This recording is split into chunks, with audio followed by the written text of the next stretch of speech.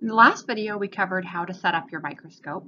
So once your microscope is all set up, then you are ready to watch this video and learn how to start using your microscope for the microscopy lab. Just a reminder, make sure that you keep your microscope away from liquids, foods, children, pets, things that can damage your microscope while you're working.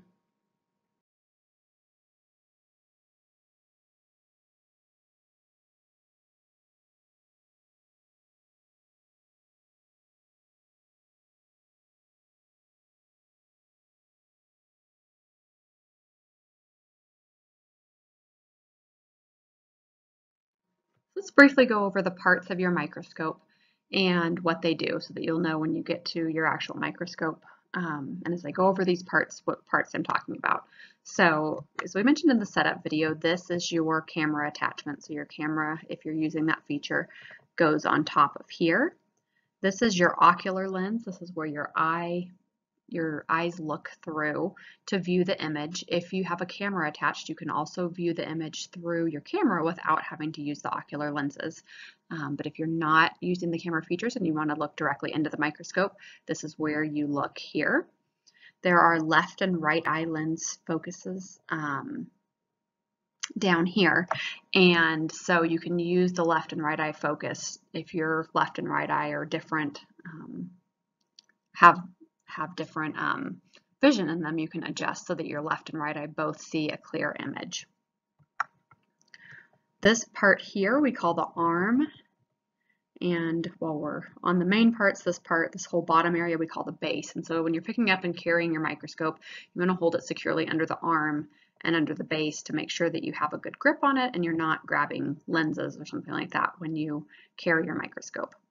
These are your objective lenses, and I'll go over um, what each of those does in just a little bit, but essentially this is the power of what you're looking through. So it determines how large the object will be that you're looking at. These right here are the stage clips. Those hold your microscope slide in place. This black base here is called the stage, and that's what your microscope slide sits on top of. There is a condenser under here for focusing the light, so you can move the lever down here back and forth to adjust the the focus of that light coming through from this light source here. That's the bottom light source. There's also a top light source that you can adjust here and here. And um, so as you're going, once you put a slide on and actually start looking through the through your lenses here, you'll want to just play with the light sources a little bit and see for that particular slide whether you want more top light, which would be from here, or um, you want to let more bottom light in through using this condenser here. So it's somewhat just playing with those settings and um, seeing what light combination of light makes your image look the best. Uh, we already went over this as your base here. The on and off switch is right here. I didn't label it, but your power cord needs to be plugged in back here in order for the on and off switch to work. And if you were to turn these grips here, that's the coarse focus. And what you'll see here is the stage move up and down. And when you focus, and we'll go over this a little bit more later, you want to start with the coarse focus and then um, on a low power setting, and again, I'll go over how that works in a minute, but you start with the coarse focus and then you use the fine focus, which is turning this smoother knob on the outside. So the rough um, sort of lined knob here is a coarse focus, and this is your fine focus here. And one last thing, if you look at the other side of the microscope, there's this knob here, and that adjusts the height of the light. So it can move your light up and down and adjust the height of your light. So what you your lab says to do first is take a letter E slide. So we've got this um, oops, this letter E slide here. And this is the stage of your microscope. And so what you'll do to put a slide on is you'll open up this stage clip, this thing here, and you will stick that under there. Be flat and that stage clip will hold that in place. So now your stage, your um, slide is held there in place.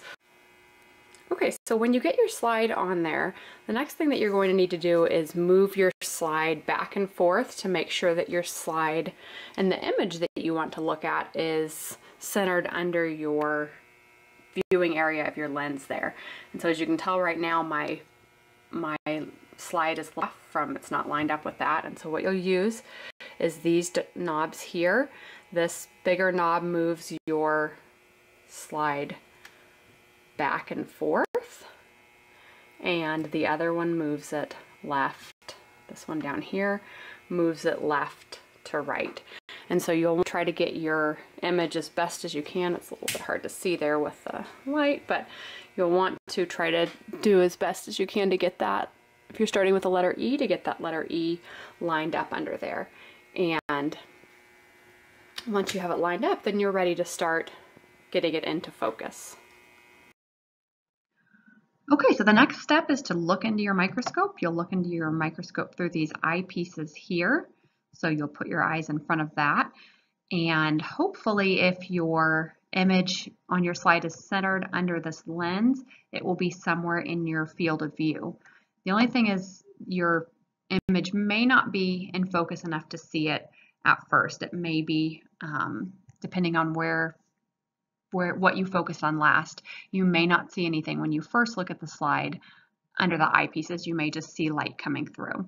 And so we'll go over on the next slide how to begin to get that focus so you can actually see something. Let's go over real quick the lenses here, your objective lenses. And so you always want to start with the shorter lens, which is this red one here. And then if you need to look at something in higher power, you will slowly turn to the yellow and or the blue.